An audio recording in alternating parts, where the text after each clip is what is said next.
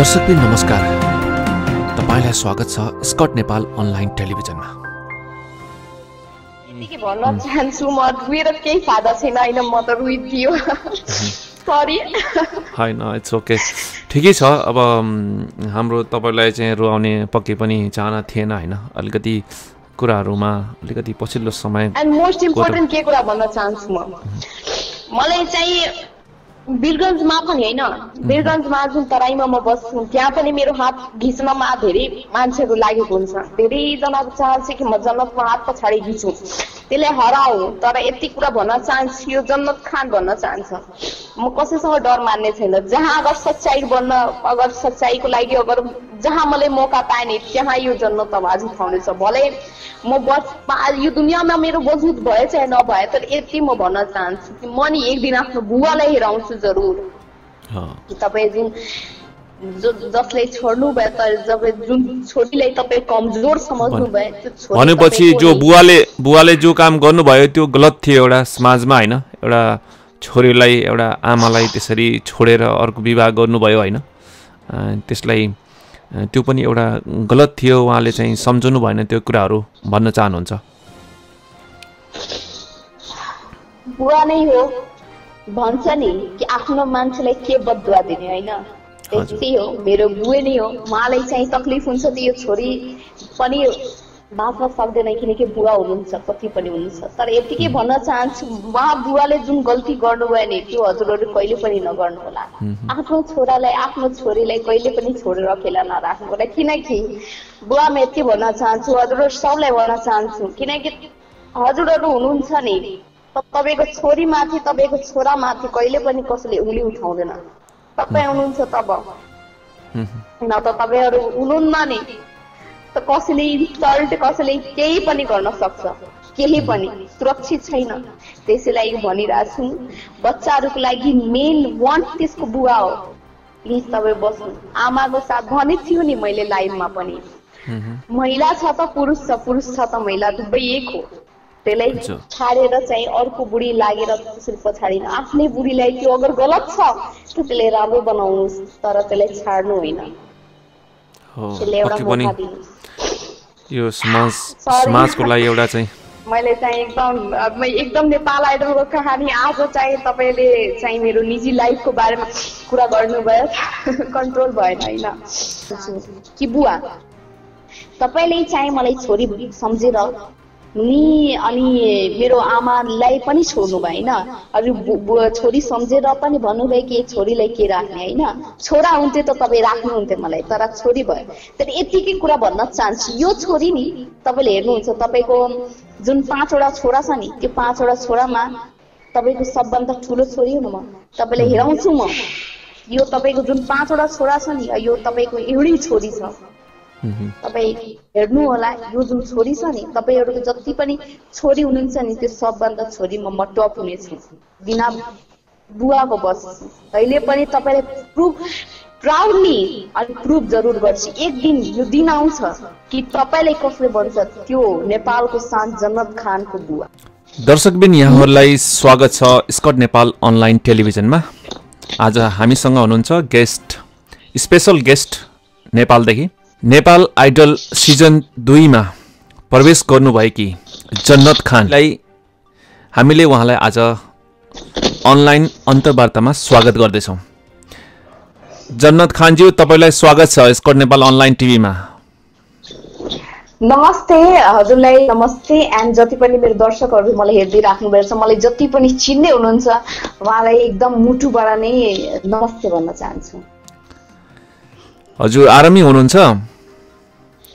एकदम आरामै छु एकदम राम्ररी छु अनि हजुरको चाहिँ हालखबर सन्चै छ एकदम। हजुर ठिक छ नि यहाँ। ओ गुड। एन्ड मलाई थाहा छ मेरो जति पनि दादाहरू दिदीहरू मलाई अहिले हेर्दै राख्नुभयो होला सुन्दै राख्नुभयो होला आफ्नो जन्नत खानको भोइस आफ्नो जन्नत खानको आवाज। उहाँ पनि एकदम राम्ररी राम्ररी हुनु होला अनि म आशा पनि गर्छु कि उहाँहरू एकदम राम्ररी हुनुहोस् लाइफमा। हजुर बेसरी पनि। अब हामी चाहिँ यो अन्तर्वार्ताको सिलसिला अगाडि बढाउँदैछौँ। तपाईँ चाहिँ पछिल्लो समयमा नेपाल आइडल सिजन दुईमा प्रवेश गर्नुभएको हो। तपाईँको कहाँसम्म कसरी गएर अन्त्य भयो कसरी प्रवेश गर्नु अलिकति बताइदिनुहोस् न त्यो वार्तालापको फेरि कुरा आयो।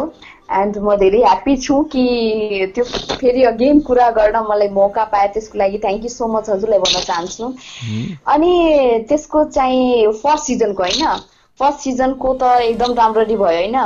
तर फर्स्ट सिजनमा त म सोचिरहेको थिएँ नेपाल इन्डियन आइडलमा म जान्छु। इन्डियन आइडलको रहर थियो इन्डियन आइडल हेर्थ्यो सुन्थ्यो धेरै राम्रो लाग्थ्यो। एउटा पनि सोच उठ्थेन तर मनमा सोचेँ कि यार त्यो धेरै सपना एकदम दूर छ त्यो धेरै नि दूर छ त्यो। त्यसको सपना सोचेर बस्नु नआए जहिले पनि म आशा चाहिँ कोसिस गर्थ्यो तैले मेरो आशा टुट्थ्यो म जानै सक्थेन।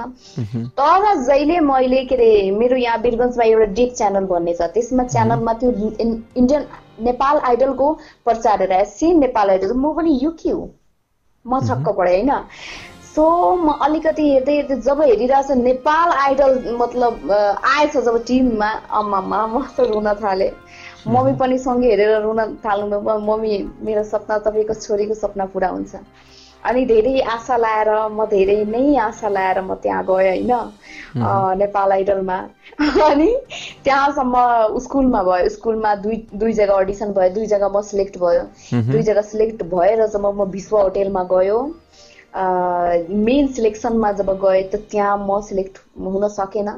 तर चाहिँ म्यामले भन्नुभयो कि तिमी मोडलिङ गर। आज सायद लागिरहेछ म्यामको नै कुरा लाग्यो कि आज म रियली मोडल बनिसकेको छु so thank you so much Indra ma'am हजुरलाई। अनि त्यहाँको सफर नि धेरै राम्रो भयो तर त्यहाँ म सक्सेसफुल भएन होइन? त्यहाँ म सिलेक्ट भएन। यही हो। तपाईँ चाहिँ एउटी चेली एउटा मुस्लिम समुदायबाट हाम्रो नेपालको तराई क्षेत्रबाट तपाईँ अगाडि बढ्नु भएको तपाईँलाई कस्तो लागिरहेको छ यसरी अगाडि बढ्दाखेरि? अरू पनि यस्तै अगाडि म जस्तै अगाडि बढुन् भन्न चाहनुहुन्छ। के छ के छ तपाईँको विचार? जसरी म अलवेज भन्छु होइन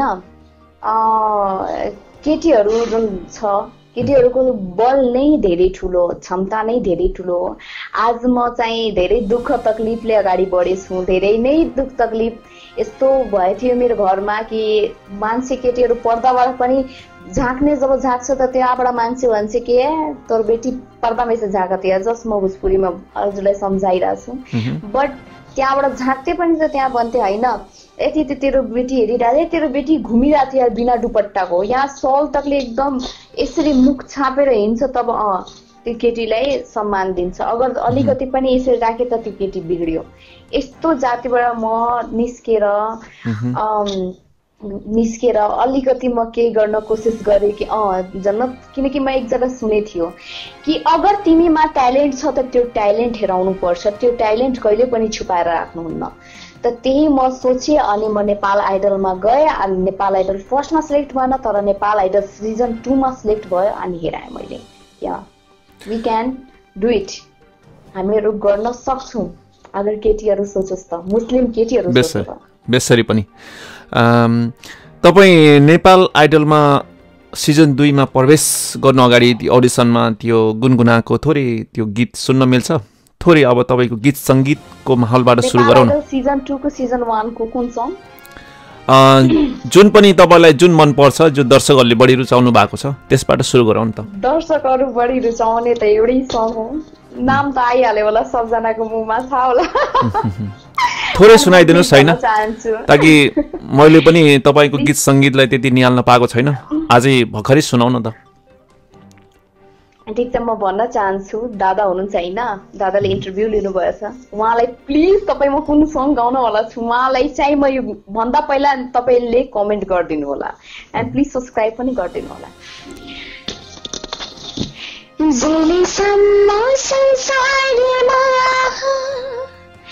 रहन्छन् हम तुम तरा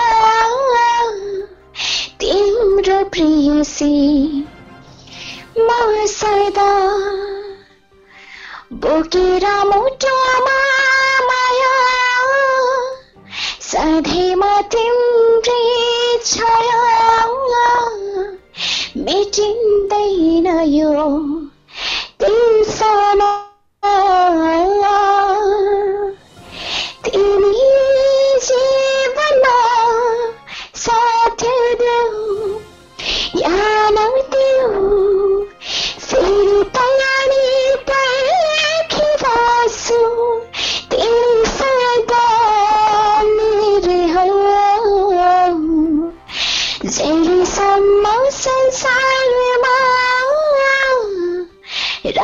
तुम तारा तिम्रो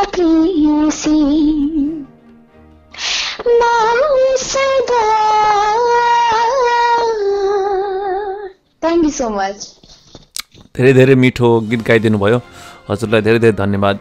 हाम्रो एउटी चेली पछिल्लो समयमा तपाईँ यो नेपाल आइडल सिजन दुई पछि भनौँ न अहिले चाहिँ सामाजिक सञ्जालमा तातेको विषयवस्तुहरूलाई पनि लिएर चाहिँ हजुरले आवाज उठाउनु भएको छ।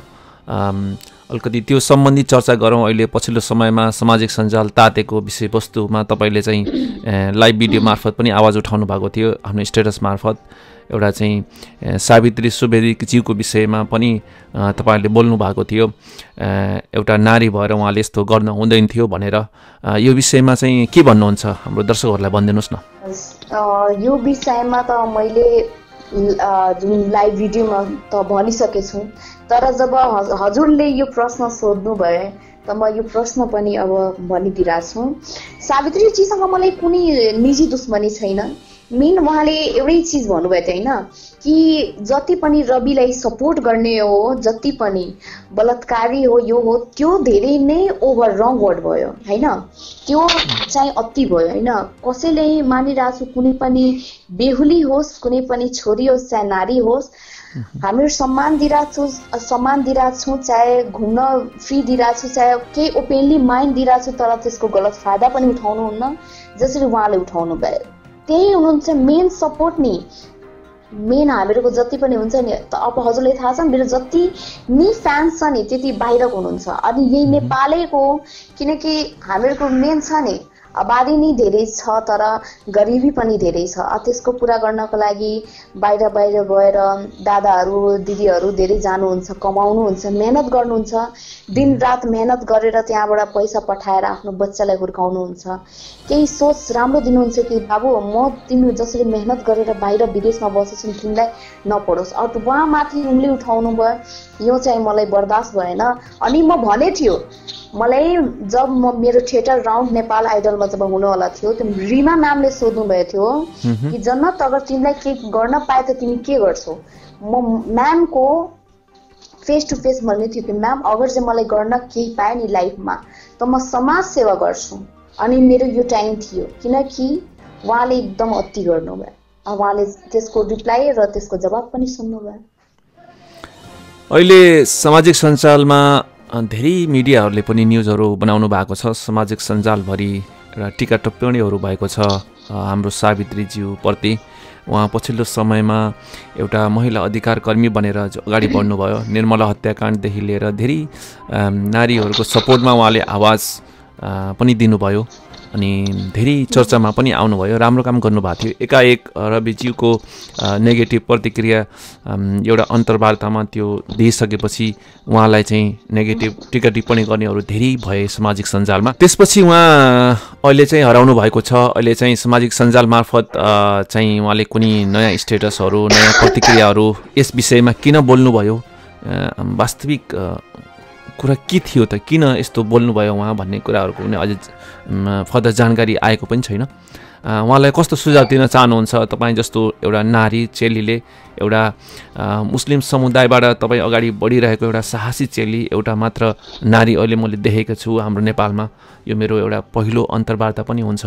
यस्तो व्यक्तित्वसँग तपाईँ के भन्नुहुन्छ? यस हजुरले जब सोध्नु भए यसको जवाब म दिन चाहन्छु। जब सावित्रीजीलाई किनकि म हेरिरहेको छु अब म यतिकै भन्न चाहन्छु जा सावित्रीजी कसैको केटीको सबभन्दा ठुलो लाइफमा त्यसको लागि धन दौलत र कामयाबी हुँदैन। केटीको सबभन्दा धन दौलत त्यसको इज्जत हुन्छ। जुन इज्जत एकदम उछलिरहेछ लाइभमा पनि धेरै यस्तो जग्गामा ठाउँहरूमा पनि धेरै यस्तो अति भइरहेछ होइन हजुरको बारेसी धेरै यस्तो पिक्सहरू अपलोड गरेर हजुरले जब यसरी यसरी भनिरहेछ त हजुरको फर्ज भयो जब हजुर राम्रो महिला हुनुहुन्छ नि त कति इन्टरभ्यूमा जाएको जसरी अहिले इन्टरभ्यू भइरहेछ त्यो त्यस्तै कुनै बाटोबाट थ्रोबाट तपाईँ भन्न सक्नुहुन्छ कि होइन मैले त्यो यो वर्ड भन्न गरिरहेको थियो तर वो वर्ड त्यो वर्ड मैले एउटा एउटा एज अ मसँग सोध्नु थियो त्यो थिङ्किङ गरिरहेको छ। त्यहाँ थाहा छैन उहाँको थिङ्किङ के छ तर उहाँले चाहिँ राख्नुहुन्थ्यो कि अँ मैले यो गल्ती गरेँ छैन। त्यो यस्तो यस्तो कुनै कुरा भन्नुहुन्थ्यो कि अँ मसँग गल्ती भयो। चाहे माफी पनि माग्नुहुन्थ्यो। अहिले अहिले ताजा ताजा त्यो कुरा थियो। मान्छे माफी पनि गर्न सक्थ्यो। किनभने त्यही त हो मान्छेको दिल धेरै ठुलो हुन्छ माफ गर्छ। सो उहाँले चाहिँ भन्नु भएन। उहाँले एकदम आरामले बस्नु भएछ उहाँले चाहिँ केही मतलब छैन। कसैले गाली दोष कसैले इज्जत उछालोस्। सावित्रीजी म तपाईँलाई लास्ट यत्तिकै भन्न चाहन्छु। त्यो महिला हुनुहुन्छ महिलाको प्रति गर्नु हुनुहुन्छ। तर एउटा कुरा याद राख्नु होला कोही पनि महिलाको लागि सबभन्दा पहिला त्यसको इज्जत हुन्छ। अरू तपाईँ अरूको इज्जत भन्नुहुन्छ कि म बचाउन कोसिस गर्छु? पहिला सबभन्दा पहिला आफ्नो इज्जत बचाउनु जुन यति फैलिरहेछ त्यो पहिला आफ्नो इज्जतमा कन्ट्रोल गर्नु कि मेरो कसरी कहाँबाट बोली उठिरहेछ त्यसलाई कसरी स्टप गर्ने त्यो एउटा थ्रो गर्ने। जसरी तपाईँ बोल्नुभएछ त्यही जसरी दादाहरूमा तपाईँ यसरी बलात्कारी भन्नुभएछ। उहाँहरूसँग तपाईँ माफी माग्नुहुन्छ त किन नि माफ गर्छ? माफ गर्नुहुन्छ? मलाई पुरै आशा छ। अरे यो जन्नत खान! जुन तपाईँको प्रति जब त्यसरी बोलेछ नि तपाईँले गलत गर्नुभयो त मैले बोलेँ नि त्यही माथि म पनि लड्नेछु कि? अँ त्यसले जब फ्रन्ट आएर त्यसले माफी मागेछ त हजुरहरूको पनि फर्ज भयो त्यसलाई माफी गर्न। तर तपाईँले गर्नु भएन। अँ त्यो पागलहरू हो तपाईँको पोस्टमा गाली दिइरहेछ केही दिइरहेछ त्यही दिइरहेछ तपाईँलाई बाल मतलब छैन मतलब। त तपाईँलाई सल्युट गर्न चाहन्छु तपाईँलाई वाह वाह भन्न चाहन्छु। युआर बेस्ट नारी हुनुहुन्छ तपाईँ। एकदम राम्रो नारी। म त सोचे त्यो बा एकदम राम्रो यो नेपालमा सावित्री भन्ने एकदम राम्रो महिला आएछ। तर म ब्याड थिएँ ब्याड थिङ्किङ थियो। अनि म हेरेँ हजुरको व्यवहार। यतिकै भन्न चाहन्छु म। हजुर धेरै धेरै धन्यवाद।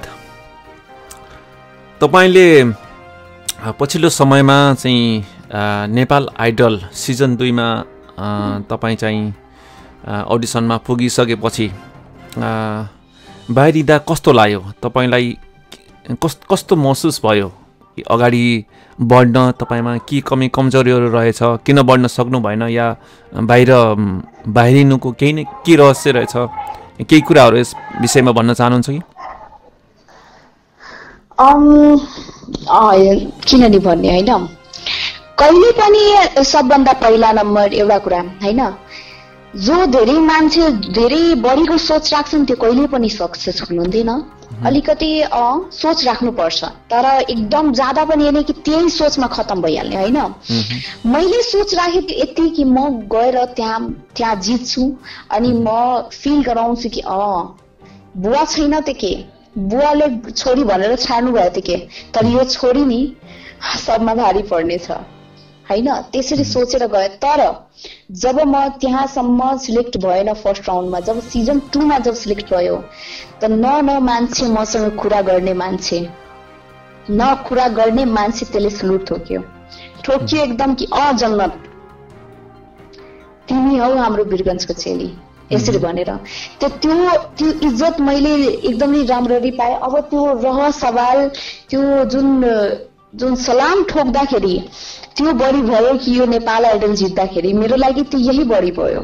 अनि यहाँको जति फिलहाल छ सबले भन्नुभयो कि हाम्रो अक्लै अक्लै चेली भएर तिमी मुस्लिम भएर तराई भरमा अक्लै चुनाएर गयो। अनि त्यो पनि एक सय तेह्रजना बिचमा अक्लै म तराईको केटी भयो। त्यति जुन म आठ दिन बिताएछु छु ल्यान्डमार्कमा त्यो मेरो लागि धेरै नै ठुलो कुरा छ। एकदम मेरो लागि बेस्ट पल छ। त्यहाँसम्म पुग्न अब जरुरी छैन कि म जितेर आऊ। कहिले कहिले जिन्दगीमा नि कसैको जित जितैन कहिले पनि हार पनि जरुरत हुन्छ। सो पनि जति पनि भयो म खुसी छु त्यसको लागि। त्यही त तपाईँ एउटी मुस्लिम समुदायबाट अगाडि बढिरहेको चेली। पक्कै पनि हाम्रो नेपालमा अब कति हुनुहुन्छ यस्तै चेलीहरू तपाईँ जस्तै तराईवर्गमा छरेर बस्नु भएको छ। कहीँ विगत ठाउँमा हुनुहुन्छ होला। तपाईँ एकदमै अगाडि बढ्नु भएको छ। उहाँहरूलाई कस्तो सन्देश दिन चाहनुहुन्छ यो तपाईँ जसरी अगाडि बढ्नु भएको छ यस्तै नै उहाँहरूलाई बढ्न आग्रह गर्नुहुन्छ कि कस्तो सल्लाह दिन चाहनुहुन्छ?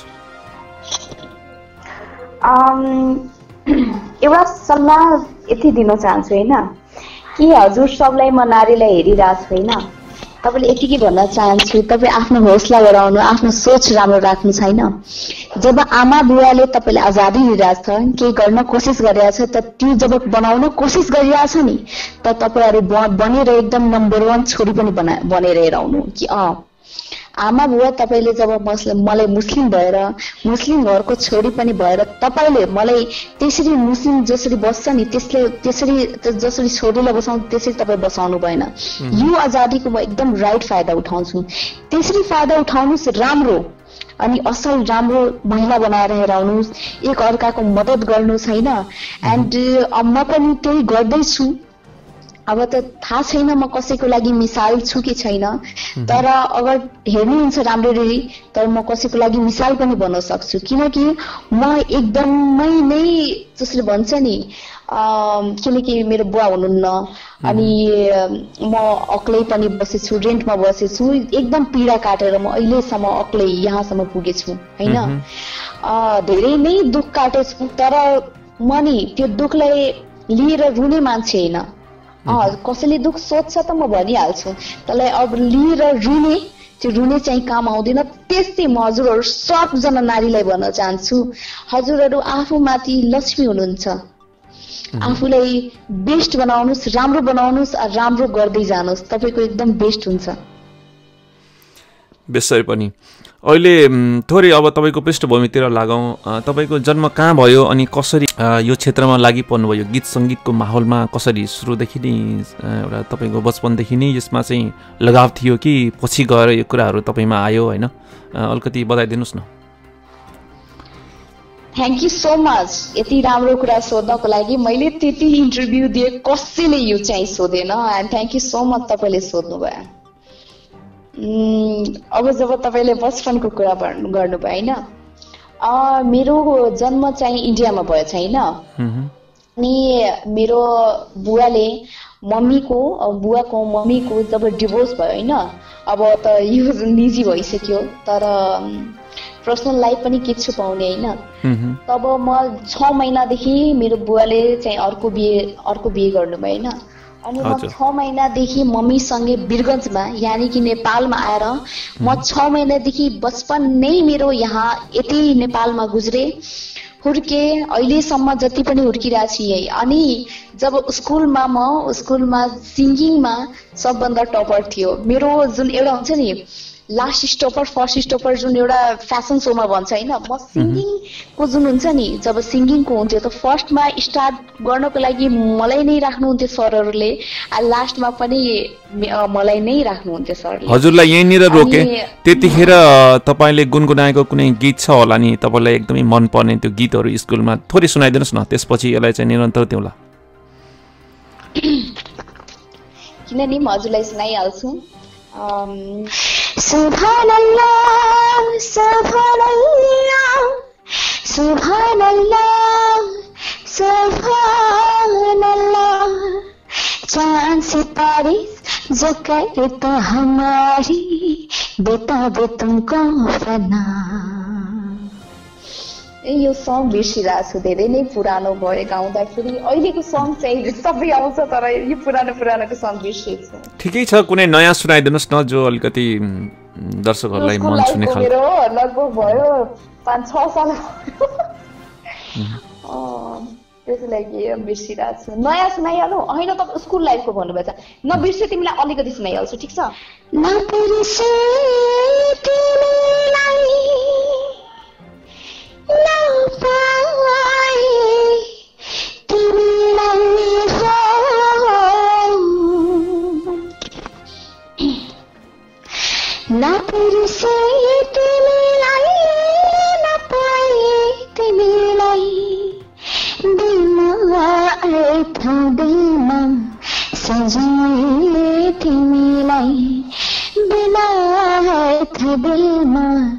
सजाए तिमीलाई। नबिर्से तिमीलाई नपाए तिमीलाई। नबिर्से तिमीलाई नपाए तिमीलाई। बिना अर्थ दिलमा सजाए तिमीलाई। बिना अर्थ हृदयमा सजाए तिमीलाई। थ्याङ्क यू ठिक छ एकदम राम्रो छ एकदम मिठो छ स्वर। हाम्रो चाहिँ यो पक्कै पनि यो लाइभमा चाहिँ यो अलिकति यो साउन्डको गडबडी भएको छ। प्रविधिले साथ दिएको छैन त्यति क्लियरिटी छैन होइन? त्यस कारणले पनि अलिकति डिस्टर्बेन्सहरू आएको छ तर वास्तविक तपाईँको स्वरमा जादु छ एकदम राम्रो छ। अब के सोच्दै हुनुहुन्छ? के सोच्दै हुनुहुन्छ तपाईँ? गीत सङ्गीतलाई नै बोकेर अगाडि बढ्दै हुनुहुन्छ कि अरू अरू के के गर्दै हुनुहुन्छ? आफ्नो जीवनमा कसरी यसलाई अगाडि बढाउने सोच्नु भएको छ? जीवनलाई चाहिँ त बढाउँदैछु। अनि मेन अहिले चाहिँ मैले सामाजिकमा पनि फोकस गरिरहेको छु कि केही आफ्नो जीवनमा चाहिँ म केही गर्न सकौँ। अनि मेन कुरा जुन सिङ्गिङ भन्नुभयो सिङ्गिङ त छ। उहाँले भगवान्ले अल्लाहले मलाई अ, दिनुभएको छ। स्वरमा त जादु दिनुभएको छ जसरी हजुरले भन्नुभयो एकदम राम्रो छ। त्यस्तै भनिरहेको छु। तर मेन कुरा एउटा मसँग नि एउटा एउटा शब्द पनि जोडेछ मेरो नामको अगाडि। त्यो हजुरलाई पनि थाहा होला होइन? सो त्यही नामको अलिकति फाइदा उठाउनु छ। त्यो जब नाम राख्नुभएको छ नेपालको शान जन्नत खान भनेर त जन्नत खान नेपालको शान भनेर त बस भएन नि। होइन अनि नेपालको शान जन्नत खान भएर मलाई चाहिँ राम्रो लागिरहेको छैन। मैले जुन दिन मैले जन्नत खानले चाहिँ केही गरेर हेराए नारी नारीको प्रति चाहे महिलाहरूको प्रति चाहे पुरुषहरूको प्रति अगर म केही गर्नमा सफल भयो त्यो दिन म आफू आफूलाई रियल नेपालको शान जन्नत खान भनेछु त्यो एउटा खालि गाना गाएर गाना गुनगुनाएर मलाई मेरो मनले भन्दैन कि ह तिमी त्यसरी चाहिँ नेपालको शान बन्ने छैन। जब हजुरहरूले हजुरहरू सबजनाले जब यति आदर भावले जब नेपालको शान जन्नत खान भन्नुहुन्छ त हजुरको जन्नत एब्सोल्युटली नै केही न केही समाजमा आफ्नो छाप जरुर छोड्नेछ कि कसैले पनि एक दिन म मरेर किन नि जानु तर लास्टमा कसैले एउटा सानो पुत्ली पनि सानो जुन हुन्छ नि मेरो बनाएर राखोस् कि? अँ यो जन्नत खान यो हाम्रो नेपालको छोरी। जुन नेपालको सान भयो त अँ त्यस्तो काम गरेर पनि हेराए त्यही हो मेरो आशा। भनेपछि समाज सेवामा अग्रसर भएर अगाडि बढ्न चाहनुहुन्छ। समाजभित्र लुकेका यिनी विकृति यस्ता कुराहरूलाई पनि अगाडि पर्दाफास गर्न भनौँ न यस्ता कुराहरूमा पनि ध्यान आकर्षण गराउँदै अगाडि बढ बढ्ने चाहिँ तपाईँको प्रयास जारी छ। त्यो हजुर एकदम राम्रो भन्नुभयो होइन। मैले चाहिँ एकदम भनेन कि म समाज सेवामा एकदम आफूलाई घुसाउने छु होइन त्यो समाज सेवा जति पनि हुनुहुन्छ दादाज्यूहरू जुन लिडर हुनुहुन्छ होइन उहाँहरूले चाहिँ गर्न चाहनुहुन्छ त उहाँहरू गर्नु म उहाँहरूको बिचमा कहिले पनि आउनुहुन्न तर मेरो जुन सिङ्गिङ लाइफमा म जान्छु अगाडि जो बढ्दै जान्छु तर जहाँ पनि म अलिकति गलत केही हेरेँ नि चाहे यस्तो केही पनि जग्गामा मेरो जन्नतको जग्गा म केही जन्नतको जब जरुरी जन्नतको अवस्था जब पढ्यो कि जन्नत अतिमी हुन एकदम जरुरी हो। त्यो टाइममा जन्नतलाई सम्झिनु होला। जन्नत अलवेज रेडी छ। जान गराउँछु तर देशलाई गवाउँदैन म। त्यही हो मेरो मेन कुरा। अनि म भनिरहेको छु कि म समाज सेवा म मोडलिङ पनि गर्छु एन्ड सिङ्गिङ पनि गर्छु एन्ड अगर मलाई को पुरा मौका पाए त म जहाँ पनि जसरी हजुरले अहिले भन्नुभयो कि कसैको जब जब कतै गलत हेरिरहेछ त त्यसको पर्दाफास त्यो पनि गर्छु किनकि मेरो देश देशको लागि जब मेरो नेपालको लागि त्यो राम्रो हुँदैन त त्यो मेरो लागि पनि राम्रो हुने छैन हजुर जस्तो एउटी साहसी चेली एउटा मुस्लिम समुदायबाट एउटी चेली नेपालकी छोरी एउटी साहसी कला गलाकी खानी होइन? यसरी अगाडि बढिरहनु भएको छ। हाम्रो देशमा एउटा भनौँ न एउटा एजुकेसनको कमीले या भनौँ नेपाल नेपालभित्र या तराईमा भनौँ पहाडमा जहाँ पनि धेरै चेलीहरूलाई शिक्षाको कमी छ केही छ पढाइ पढाइ गर्न सक्नुहुन्न होइन? यस्ता विषयवस्तुहरू धेरै छन्। उहाँहरूको लागि कस्तो सन्देश दिनुहुन्छ? तपाईँ यसरी अगाडि बढिराख्नु भएको छ। नारीले पढ्नुपर्छ अगाडि बढ्नुपर्छ एउटा चाहिँ सन्देश दिनुहुन्छ। यस म अब जब तपाईँले सोध्नुभएछ त्यो पनि कुराको म जवाब दिन चाहन्छु। सबभन्दा पहिला नम्बर कुरा हजुरले चाहिँ हजुरहरू जति पनि हाम्रो जति पनि अहिले सानो सानो नानीहरू होइन? अब के सानो सानो नानीहरू भनौँ म पनि मेरो उमेर पनि त पढ्नै छ। तर म आफ्नै पनि जति उमेरको हुनुहुन्छ होइन? ब्याचलर गर्दाखेरि पनि हुनुहुन्छ। अनि जो जो पढ्न पढ्न सकि पनि रहेको छैन अ, जसले पढ्न मौका पनि पाइरहेछ त उहाँहरूले चाहिँ नपढेर आफ्नो फ्रेन्डको प्रति फ्रेन्डमा दिमाग दिनु भइरहेछ घुमफिर। तर म यति भन्न चाहन्छु गाइज साथीहरू सबलाई भन्न चाहन्छु। पढाइ स्टडी एउटा यस्तो कुरा हो नि जिन्दगीमा तपाईँ धनी हुनुहोस् या नहुनुहोस् तपाईँ चाहिँ एकदम रिच मान्छे होस् या नहुनुहोस् तर तपाईँको सबभन्दा ठुलो तपाईँको लागि स्टडी हो। यो स्टडी यस्तो चिज हो नि। म आफ्नो आफ्नो जति समझ छ त्यो समझको अ, म भन्न चाहन्छु। यो स्टडी एउटा यस्तो चिज हो कि तपाईँ रिच मान्छे तपाईँभन्दा हाइएस्ट मान्छे पनि तपाईँको अगाडि बनेको रहन्छ नि बसेको रहन्छ नि। त तपाईँ आफ्नो बोलीले आफ्नो जुन इङ्ग्लिस पढाइले अरू आफ्नो जुन थिङ्क हुन्छ आफ्नो दिमागले यस्तो त्यसलाई टक्कर दिनु सक्नुहुन्छ दिमागले आफ्नो। कि त्यो मान्छे तपाईँको तपाईँको मान्छे नि त्यो रिच मान्छे पनि हेराइदिँदैन त्यो भन्छ "वाह, के ट्यालेन्ट छ ट्यालेन्ट छ त्यसमा। र तपाईँ त्योभन्दा पनि रिच तपाईँ हुनुहुन्छ दिमाग प्रति र त्यसैलाई भन्न भन्न चाहन्छु कि अहिले पढाइको अगाडि केही छैन। पढाइ जब पाइरहेछ नि हजुरलाई। प्लिज पढाइ गर्नुहोस्। मेरो पनि पढाइ यस्तै छुटिरहेछ तर के गर्ने? घर पनि हेर्नु पर्छ होइन? घर पनि म घर त हेर्छु कसरी पनि किनकि म एक्लै छु। अनि अन- मलाई भन्नु पनि छ तर पढाइको जब मौका पाउँछ त्यो जन्नत पछाडि हट्ने छैन। म पढ्छु। अनि त्यस्तै हजुरहरू सबलाई भन्न चाहन्छु जति पनि दिदीहरू दादाहरू हेर्नु भइरहेछ हजुर आफ्नो जन्नतलाई। त्यसरी नै म भन्न चाहन्छु कि जति पनि मौका पाओस् तपाईँलाई जसरी पनि मौका पाओस् तर पढाइलाई नछाड्नुहोस् अनि पढाइ गर्नुहोस् it's most important in life in study छोरीलाई पढाउनुहुन्न अगाडि बढाउन दिनुहुन्न घरमा काम गर्नुपर्छ भन्ने यस्ता यस्ती धेरै कुराहरू छन्। पिछडिएका यस्ता विषयवस्तुहरू धेरै छन् हाम्रो समाजमा। त्यसलाई चाहिँ तपाईँ कसरी लिनुहुन्छ? अब त्यो चाहिँ कुरा सोध्नु भएछ त यो त धेरै एउटा मोस्ट इम्पोर्टेन्ट कुरा भयो। एउटा हामीहरूको समाजमा चाहिँ हामीहरूको समाजमा होइन यो धेरै यस्तो समाजमा हुन्छ होइन। होइन? कि जसरी म भनौँ कि होइन मुस्लिममा नै हुन्छ होइन। यो अरू अरू ठाउँमा पनि हुन्छ किनकि मैले आफै हेरेको छु।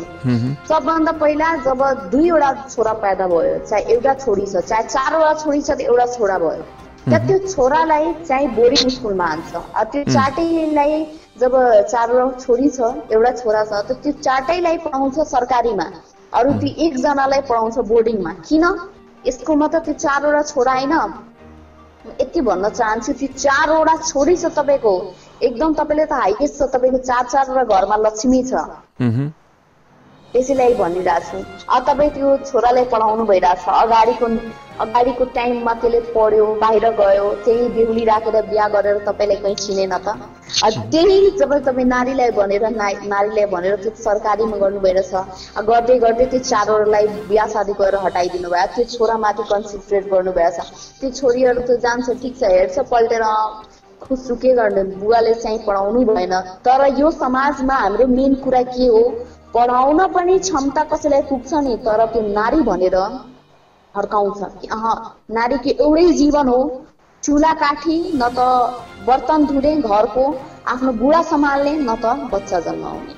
यतिकै लेभल जुन पाएछ नि हामीहरूलाई जुन यो शब्द धेरै यस्तो अनि मेरो पनि पोस्टहरूमा धेरै नै आइहाल्छ। कहिले कहिले होइन?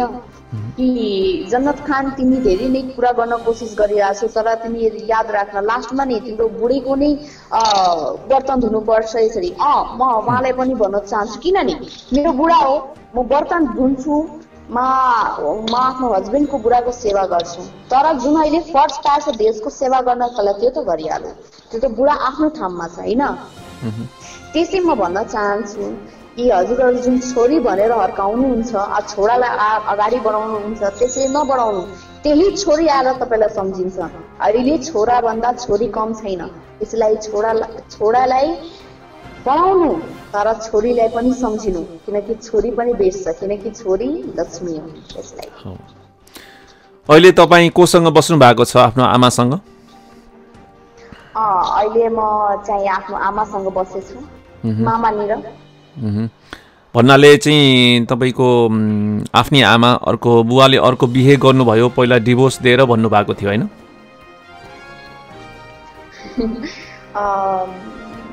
तपाईँले चाहिँ एकदम इनोसेन्ट कुरा गर्नुभएर चाहिँ म कहाँ कसम रुन थाल्छु अब। चाहिँ डिभोर्स त अब यो प्रति त म कुरा गर्दैन तर तपाईँले सोध्नु भएछ यो पनि कुरा त जवाब दिन्छु। मेरो के अरे आमाको जब सायद मै हो जब मलाई लाग्छ त्यो म भनेन कि छोरी हुँदा नै यस्तो गुनाह बनाइदिनु भएछ नि यो समाजमा यस्तो गुनाह बनाएर छोरीलाई हामीलाई राखिदिएछ नि। कि लाग्छ नि यो दुनियाँमा जिउनै केही दुनियाँ होइन।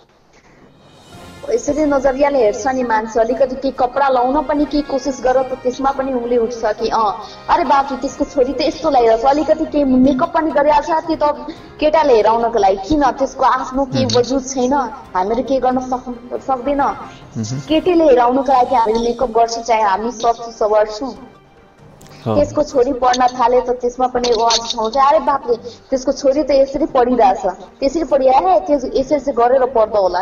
यसरी गरेर पढ्दा होला। किन यसरी गरेर पढ्दा होला? हामी तरिकाले पढ्छौँ हामीहरूलाई जिउन दिनु।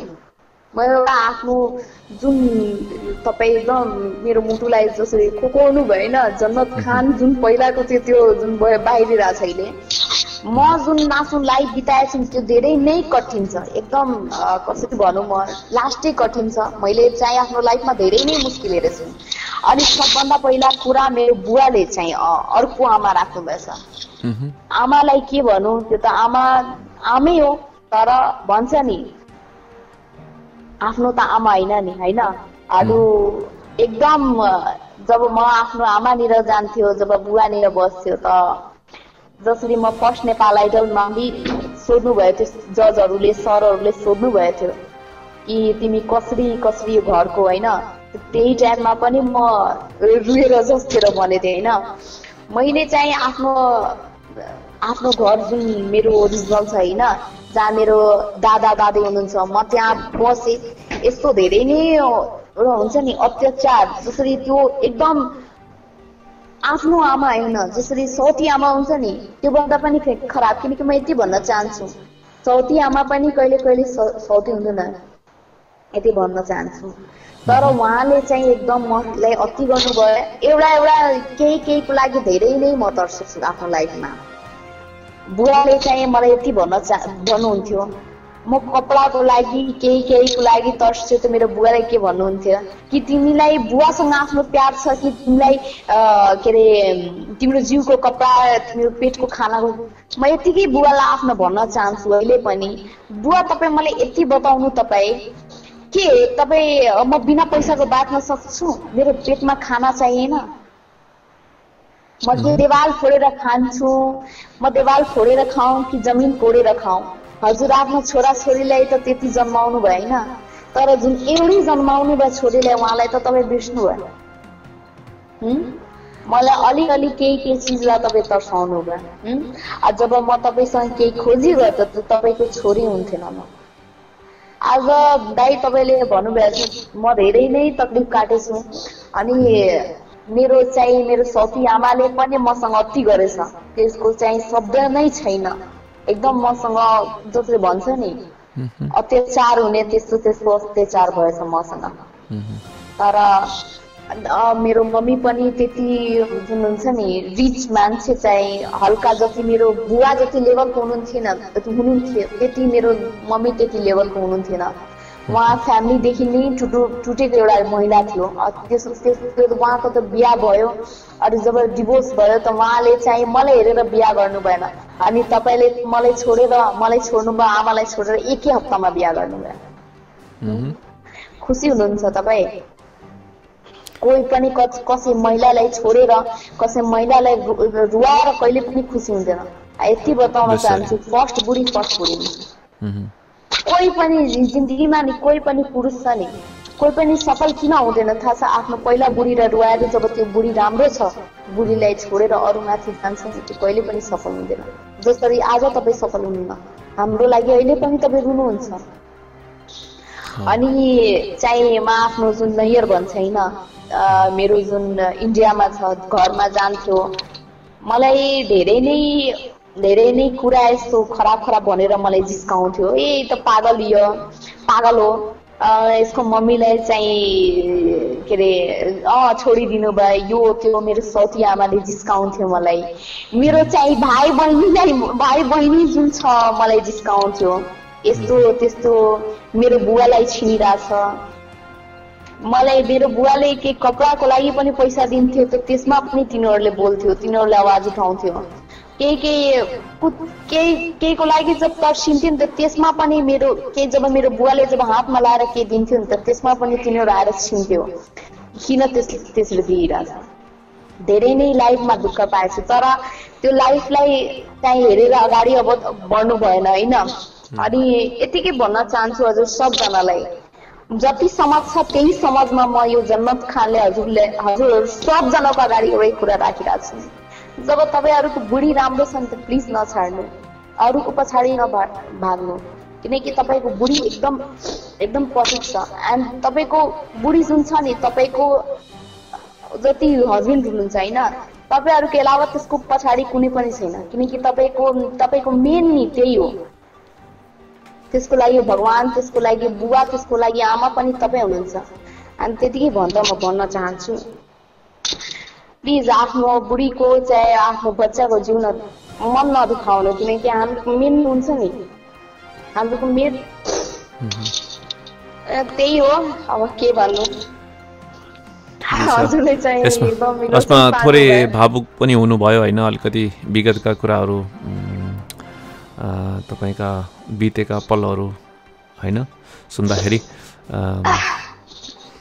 अब चाहिँ यतिकै भन्न चाहन्छु म मेरो केही फाइदा छैन होइन म त रुइदियो सरी होइन इट्स ओके ठिकै छ अब हाम्रो तपाईँलाई चाहिँ रुवाउने पक्कै पनि चाहना थिएन होइन? अलिकति कुराहरूमा अलिकति पछिल्लो समय एन्ड मोस्ट इम्पोर्टेन्ट के कुरा भन्न चाहन्छु म?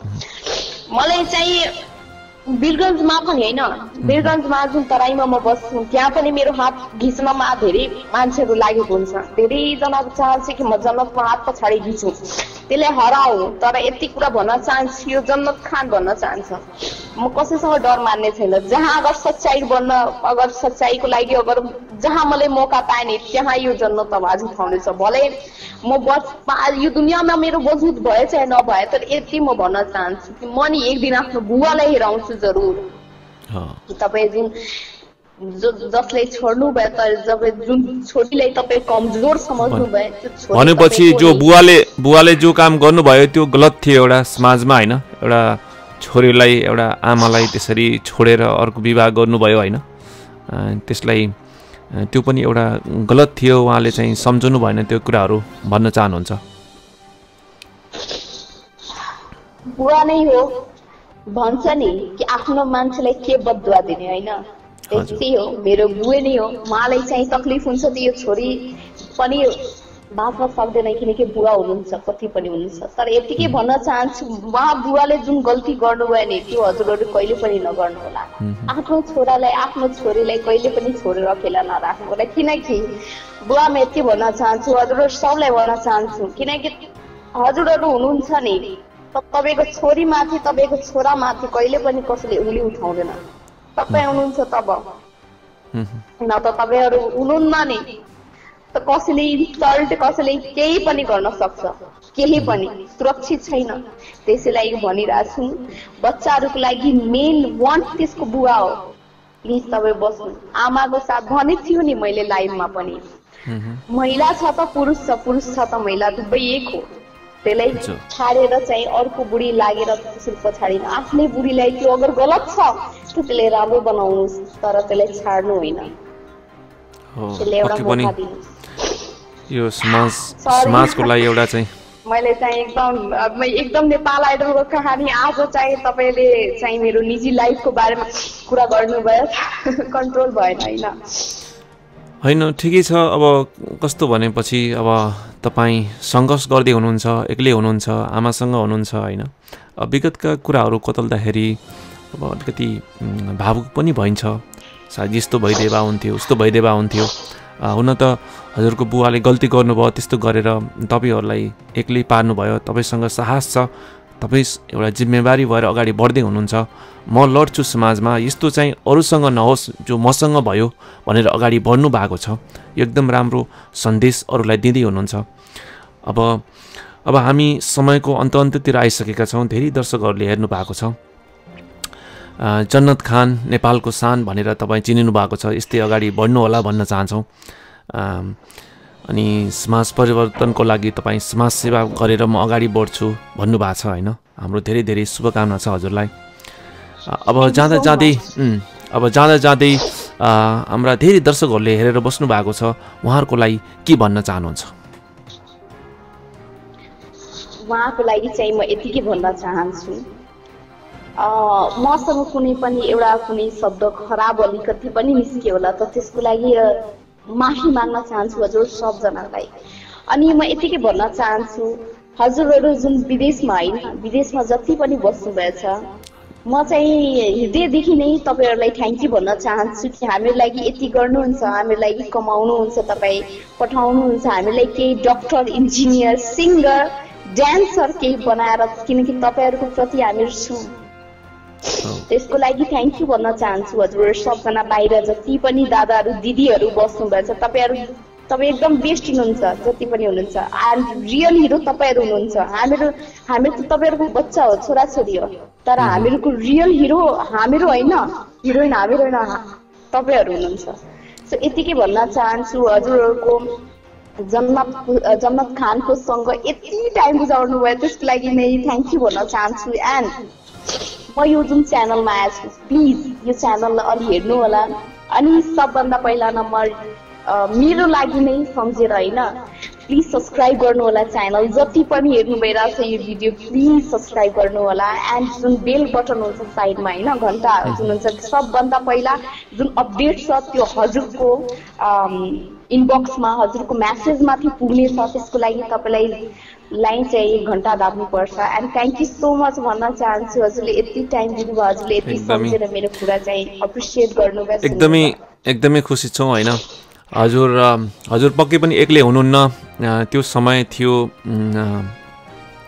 जतिखेर बुवासँग हुनुहुन्थ्यो त्यो तपाईँको समय कति वर्षको हुनुहुन्थ्यो? तपाईँ जब बुवाले छोड्नुभयो भन्नुभयो?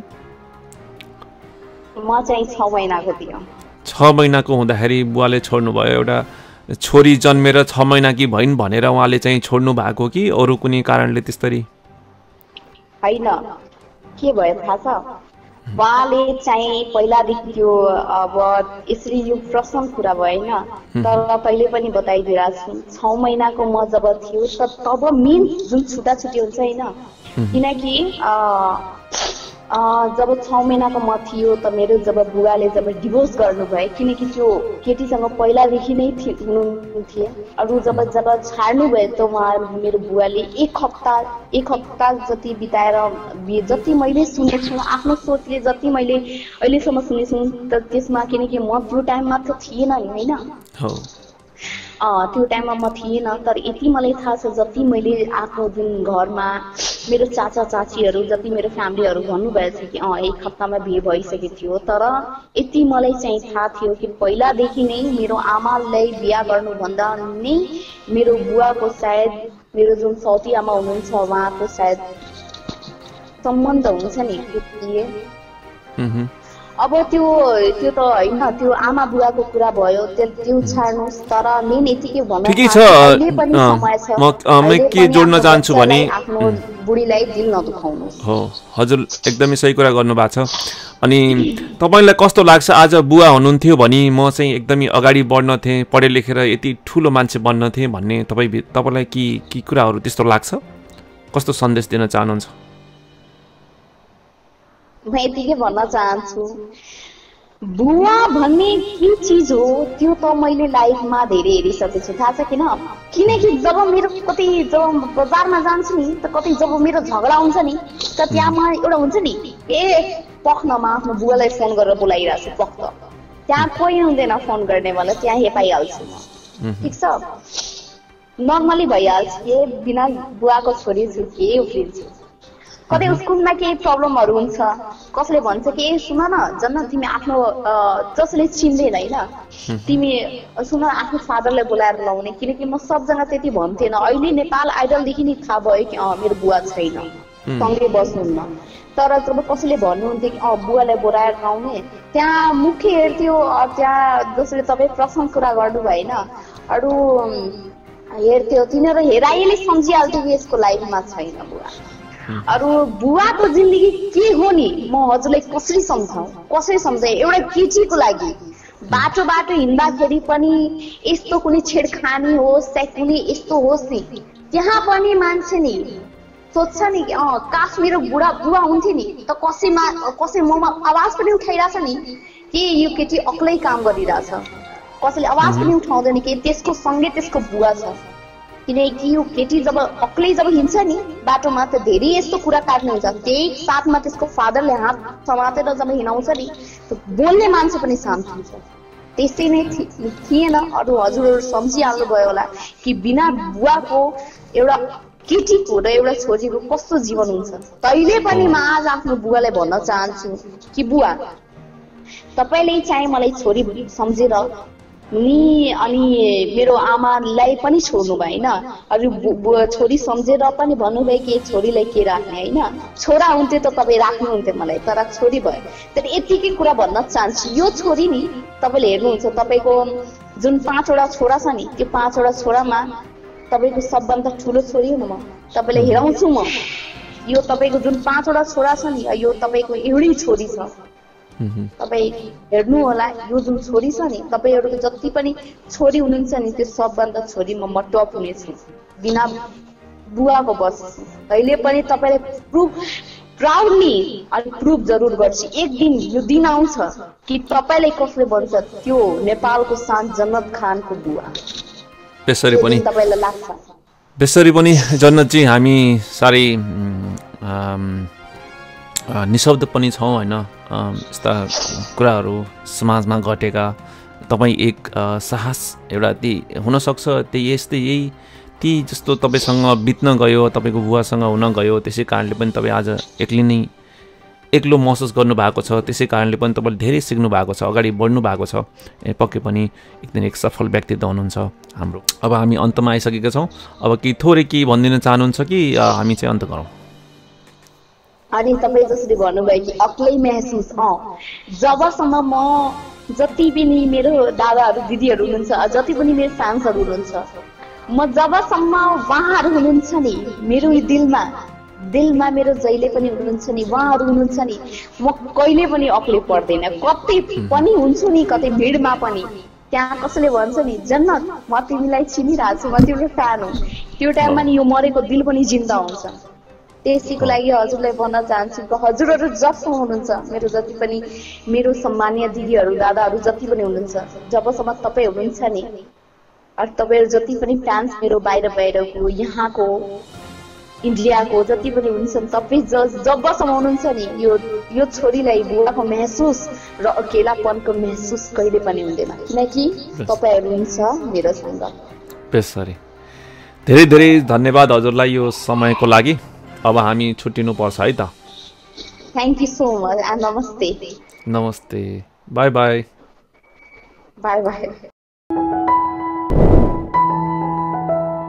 नयाँ नयाँ भिडियोका लागि हाम्रो च्यानललाई सब्सक्राइब गर्नुहोस् र यो बेल आइकनलाई दबाउन पनि नबिर्सिनुहोला।